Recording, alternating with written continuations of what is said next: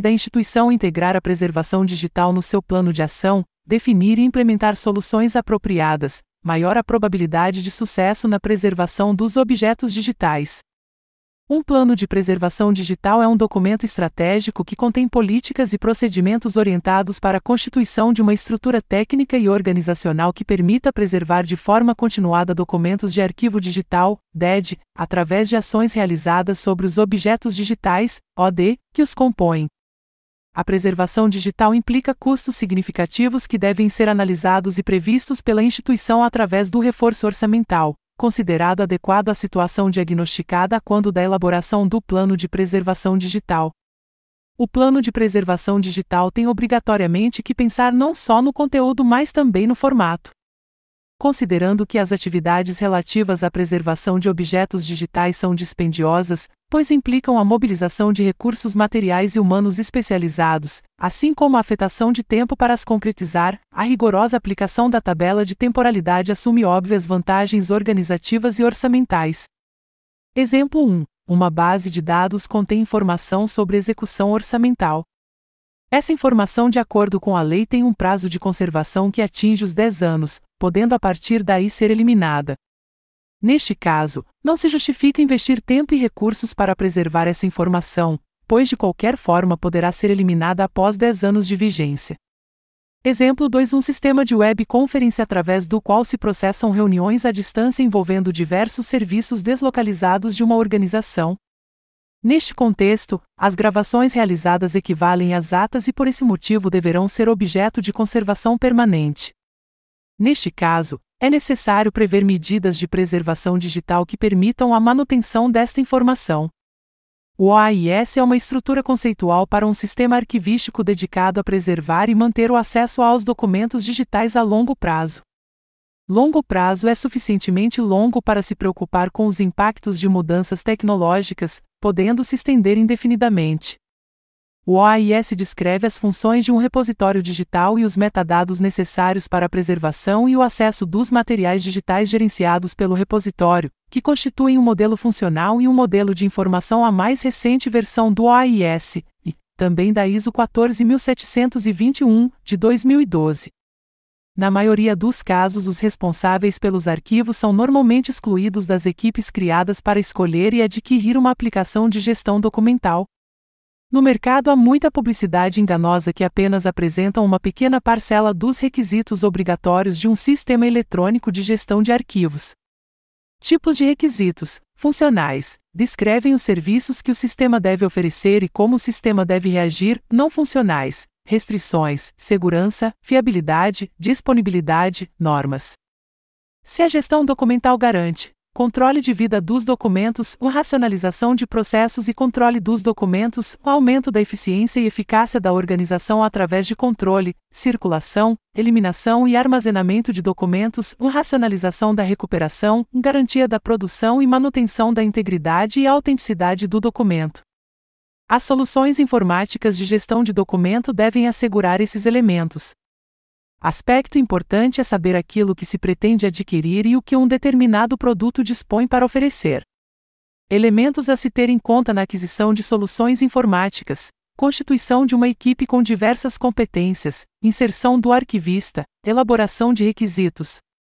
A interoperabilidade implica vários níveis de intervenção, ao nível macroorganizacional, no que se refere à cooptação política e social dos colaboradores para novas formas de trabalhar, de interrelacionamento e de ligações com o cliente. Ao nível microorganizacional, no que respeita à redefinição e processos que devem ser repensados numa perspectiva interorganizacional. Ao nível tecnológico, em que é necessário que equipamentos e software comuniquem entre si e se compreendam de forma integrada com vista à satisfação global de necessidades, internas e externas, pressentidas ou solicitadas. Ao nível da informação transmitida ou trocada entre os atores envolvidos, neste aspecto, dois fatores são cruciais: a estrutura da informação transmitida, ou seja, a sua sintaxe e significado dessa mesma informação, ou seja, a sua semântica,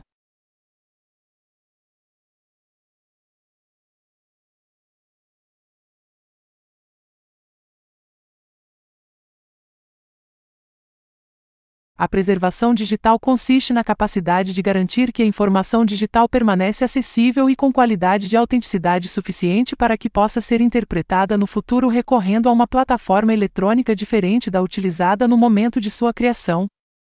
A preservação digital assume três vetores: conjunto de atividades desenvolvidas com o fim de aumentar a vida útil dos documentos de arquivos eletrônicos, salvaguardando a utilização operacional e protegendo-os das falhas de suportes, perda física e obsolescência tecnológica, conjunto de atividades que promovam o acesso e a acessibilidade continuada aos conteúdos, conjunto de atividades que assistem na preservação do conteúdo intelectual, forma, estilo, aparência e funcionalidade. Quanto mais rápida a instituição integrar a preservação digital no seu plano de ação, definir e implementar soluções apropriadas, maior a probabilidade de sucesso na preservação dos objetos digitais. Um plano de preservação digital é um documento estratégico que contém políticas e procedimentos orientados para a constituição de uma estrutura técnica e organizacional que permita preservar de forma continuada documentos de arquivo digital, DED, através de ações realizadas sobre os objetos digitais, OD, que os compõem. A preservação digital implica custos significativos que devem ser analisados e previstos pela instituição através do reforço orçamental considerado adequado à situação diagnosticada quando da elaboração do plano de preservação digital.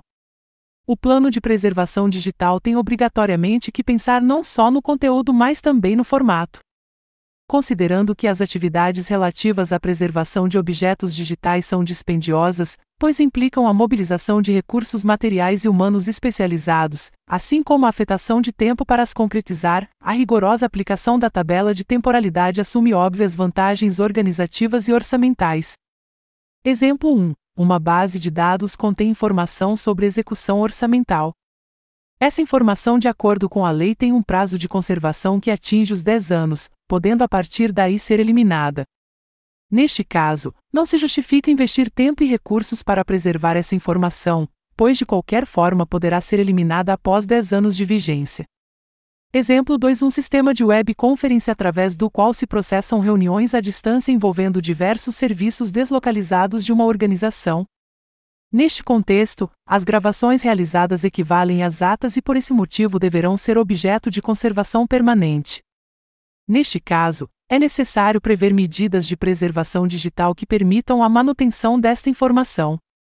O OAIS é uma estrutura conceitual para um sistema arquivístico dedicado a preservar e manter o acesso aos documentos digitais a longo prazo.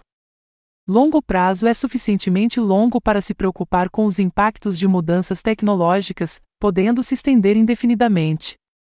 O OAIS descreve as funções de um repositório digital e os metadados necessários para a preservação e o acesso dos materiais digitais gerenciados pelo repositório, que constituem um modelo funcional e um modelo de informação a mais recente versão do OAIS, e, também da ISO 14721, de 2012.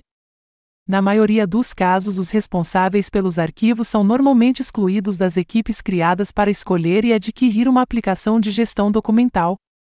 No mercado há muita publicidade enganosa que apenas apresentam uma pequena parcela dos requisitos obrigatórios de um sistema eletrônico de gestão de arquivos.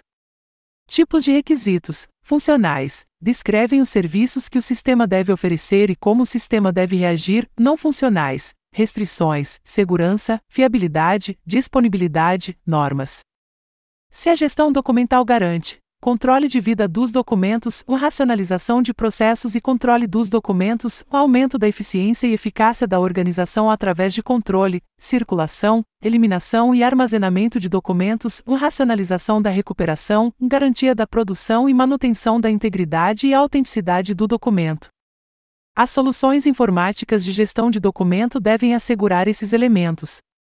Aspecto importante é saber aquilo que se pretende adquirir e o que um determinado produto dispõe para oferecer.